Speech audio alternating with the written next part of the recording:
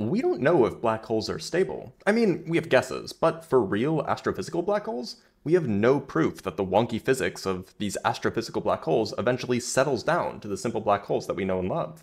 See, that black hole that we know and love is called a Kerr black hole, and the Kerr black hole is believed to be the prototype for all black holes in our universe. Briefly, a Kerr black hole is a sort of ideal black hole predicted to exist by Einstein's general relativity.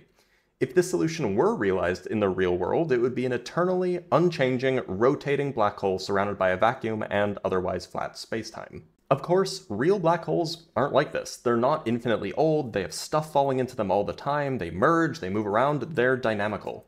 Nonetheless, when we do look out at the universe, black holes behave almost exactly as you would expect them to if they were Kerr black holes. So it's believed that if you leave any black hole alone long enough, it'll eventually settle down to a Kerr configuration. This is called the black hole stability conjecture. And there's some pretty good observational evidence that the conjecture is true. If you look at the data from gravitational wave observations, you'll see a characteristic ring down after the black holes collide.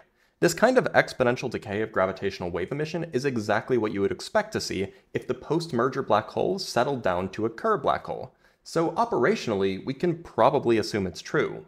But evidence isn't proof. It's the job of mathematical physicists to prove it once and for all. And don't fret, in the last 10 years, there's been a lot of progress. In 2016, Vasy and Hintz, who I had the pleasure of meeting a few days ago, proved that a Kerr black hole in a positively curved spacetime, called Kerr de Sitter, is stable so long as the black hole is slowly rotating.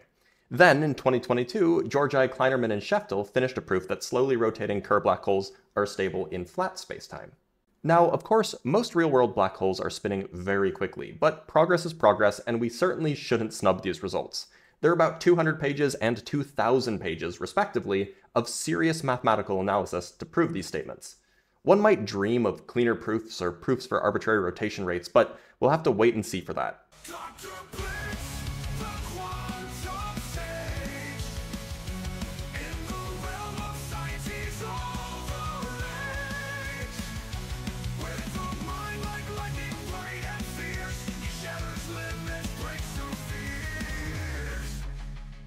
Now, of course, most real